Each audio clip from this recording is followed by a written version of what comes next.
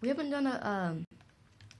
We haven't done a how to make a village in a biome episode in a while. So, what?